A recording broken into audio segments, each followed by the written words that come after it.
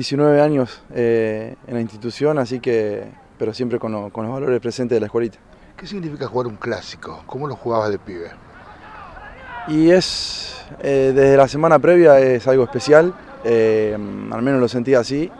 Saber que enfrente está la camiseta de libertad, a uno lo, lo- lo pone en otra situación, lo ¿Es hace... una motivación especial? Sí, totalmente. Y es lo que tratamos de, de bajarle a los chicos, que lo vivan de esa manera. ¿No lo vivías así? Sí, sí, sí, sí. Yo siempre pongo el ejemplo de que enfrente tenía a Franco Antoni, que es primo, y, es- ese sábado, ese domingo no nos conocíamos.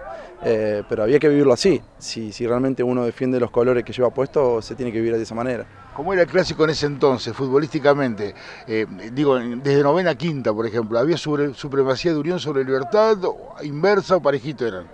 Tuvimos la fortuna de que en novena, sexta éramos superiores, teníamos un buen plantel conformado y, después se emparejó, se emparejó quinta, reserva, primera ya de otra historia, pero eh, se emparejó, Libertad ganó experiencia, ganó jugadores también que buscó en la zona y, y se hacían partidos mucho más, más trabados, más duros, como, como suele suceder hoy también. Por todo ese trabajo de inferiores, un día llegaste a primera división, también tuviste tu oportunidad, otro día te fuiste, pero otro día volviste y hoy estás trabajando en inferiores. Contale a la gente qué estás haciendo y qué categorías tenés.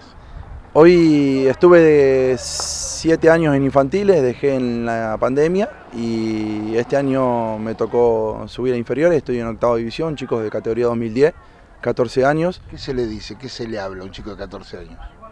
Sobre todo el valor del grupo. Eh, eh, trato de que, que- que más allá de que entren 16 a, a la cancha los sábados, que, que el grupo se mantenga, que sean unidos, que tiren per- todos para el mismo lado, porque cuando se necesita uno tiene que estar y, y que, se formen, que se formen en el club, que sean parte del club, que estén, que se, que se sientan contenidos sobre todo.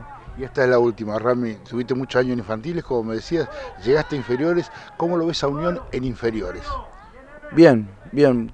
Tengo la suerte de que los chicos que hoy me toca dirigir los tuve desde los 5, 6 y 9 años. Ah, los conocés. Y ellos te conocen a vos. Y ellos me conocen a mí. eh, y muchos de los que hoy están en inferiores también pasaron, como con Gastón, eh, por, por nuestras manos, por nuestras palabras, por nuestro poco mucho que sepamos, pero lo que pudimos bajarle, hoy lo estamos viviendo en inferiores y, y- y se ven, se ven buenos, buenos chicos, buenas categorías, buenos equipos y- y ojalá esto pueda seguir así.